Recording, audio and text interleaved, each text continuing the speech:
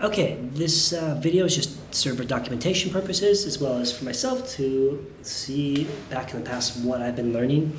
And for this Django project, I focused on learning more and building the backend for a paid membership site. So in this case, it's just a fitness fitness site that has content. In this case, it's just articles.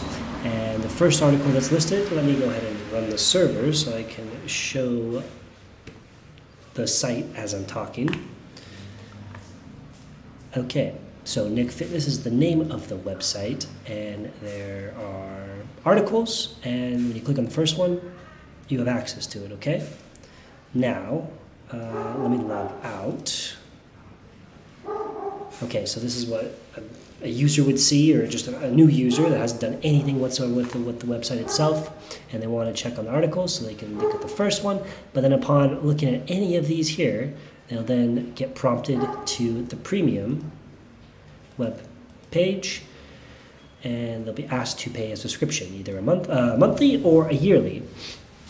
Now, this part was already actually pre-generated and given to me, but what I ended up doing is enhancing and building the backend capabilities. So before there was no actual button that would that would uh, no page that you would be taken to after clicking get started. But now upon doing that, you are then first you have to create an account. Let's create an account. This is a new user altogether, so let's just do test, and that's not sign up. So this is test. Uh, email test 2 at gmail.com. Password test, test, double test, test, test. Okay, so now that uh, required, what's up?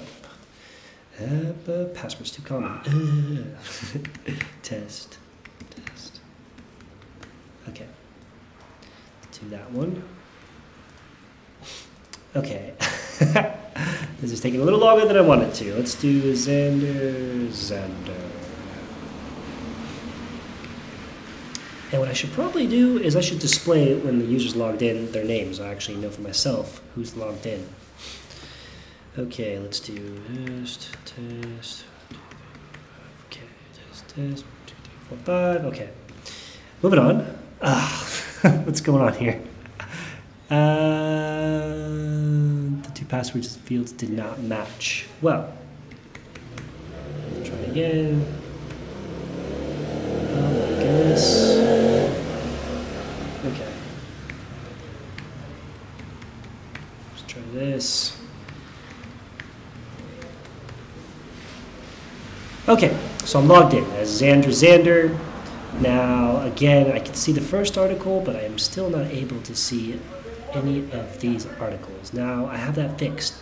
The fix was to first go into my views and some of these folders were already generated but I built, uh, of course following along but uh, understanding um, the checkout process here.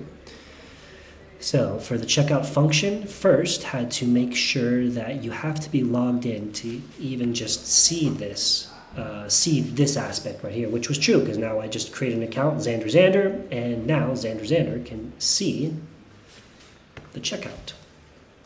And I then applied coupons. So we're going to see a coupon functionality here.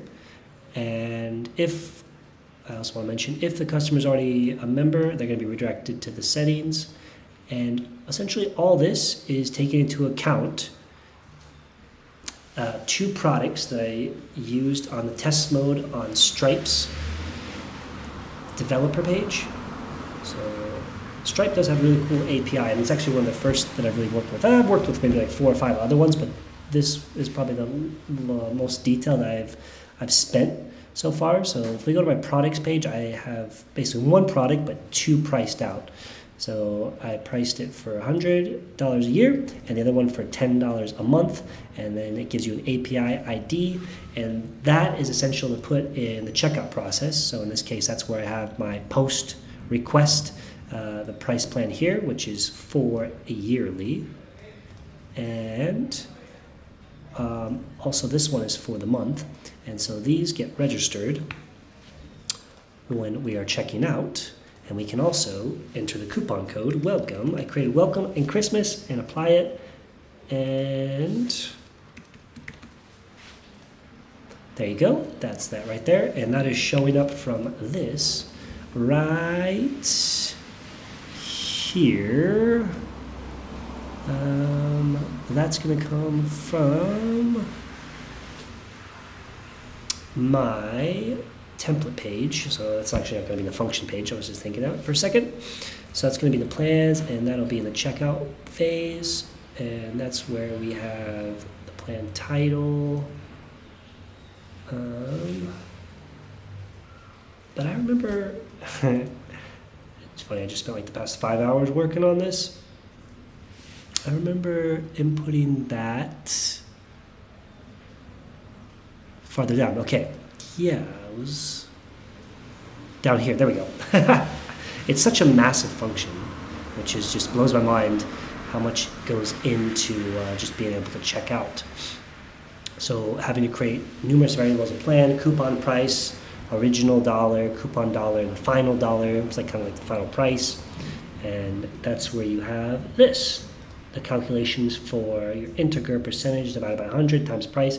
So what you see right here, like the dot and the dot, that's getting displayed right here, for instance. So without further ado, let's go ahead and pay with card. Now, when you're using the Stripe API, you have to use a specific credit card number, fictional, 424242, to be registered or to be accepted or, or to be used as like a, that's a fake or like that's like the test mode. And I'll move my screen here because you'll see it says test mode right there. So that way we can put any card information, well not any, but a fictional card information and it will work. So we're going to get a green arrow and then now you're going to get redirected to the home page. Home page! There we go, home page. And now I have the ability to open up these articles that I did not have access to before. Look at that, there we go. So that's kind of like the premium paid site aspect. Then we can go to my settings and I can actually cancel this membership. So let's go ahead and cancel the membership. Okay, I don't exist anymore.